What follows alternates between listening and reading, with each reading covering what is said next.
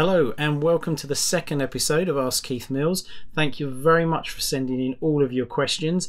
Fantastic response, really, really pleased with it. So we've got a lot to get stuck into. Let's go. Question one DJ Roman wants to know in his drum mix, he's got the snare and the kick playing, but when the kick drops out, the snare is getting too loud. Why is this happening? And what can he do about it?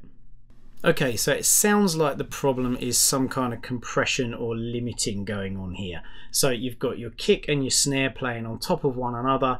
That's really driving, let's say, your compressor on your drum bus really hard. When the powerful kick drops out, there's not as much compression being applied, and so the snare all of a sudden is louder because it's not being reduced by the compressor. The solution to this is take your entire drum mix take all of your compression, everything off of it, and resample it to an audio file.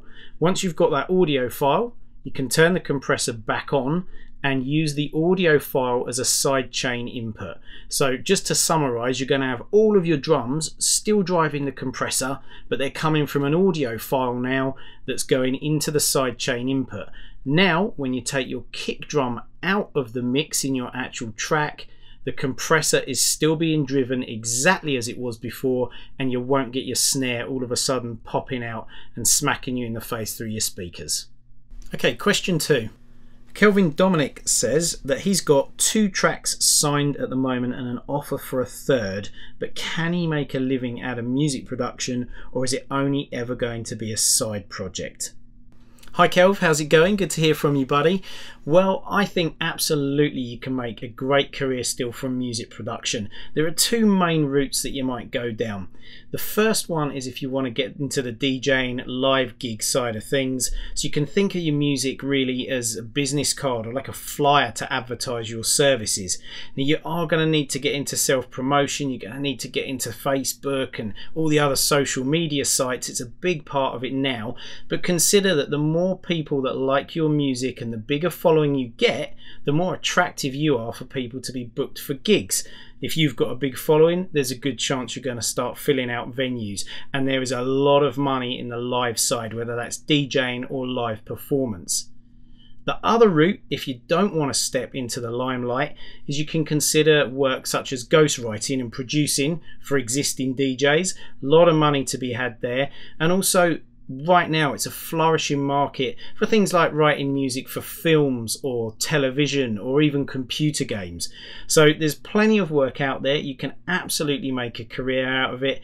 You're doing fantastically releasing the tracks that you are at the moment. Keep at it, buddy, and you do really well. Question three is from Ray Gill. Ray asks, How do you determine the root note of a track? When I'm coming up with an idea, I don't start by picking a root note, I just produce. Well, Ray, I'm going to turn this one on its head for you, and I'm going to suggest that you do pick a scale when you start your track. It's going to be much, much easier for you. And there are a couple of other advantages here as well. First of all, it allows you to set the tone of your music. So if you're going to aim for something that's perhaps a little bit dark and melancholy, you might want to go for a minor key. If you're looking for that happier vibe, a major key, and so on.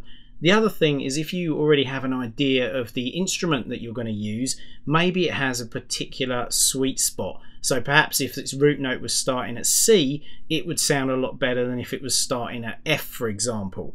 So there are a couple of factors to consider.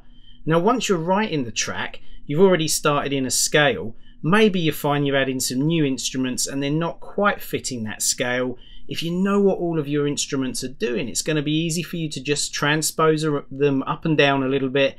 You'll know exactly where you are, and it still gives you that flexibility, but it's a much, much easier way of working than starting out and then trying to figure out all the different bits and how they might join together. Okay, the next question is from my good friend Rich Weller. Rich wants to know what is the best way to do parallel compression?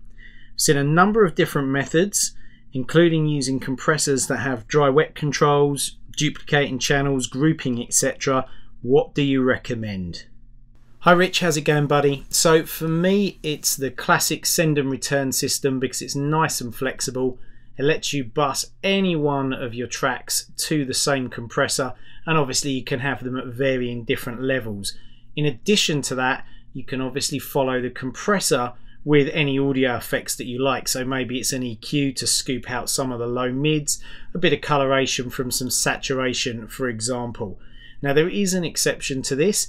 If I was working on a specific sound that I wanted to have a set of controls that really didn't match the compressors that I've got set up on my return tracks, and it's just literally that one compressor for one sound, then I would go down the road of using it as an insert and using a compressor with a dry wet control. At the end of the day, it's whatever you feel is best, whatever you enjoy using the most. There's no hard and fast rules with it, but those are my preferences. I hope it helps. Take care. Okay, so that's it for this episode. Thank you very much for watching. Remember, if you've got any questions you want to ask, just fire them over to me on Instagram and Twitter using the hashtag AskKeithMills, or alternatively, you can type it into the contact box underneath this video.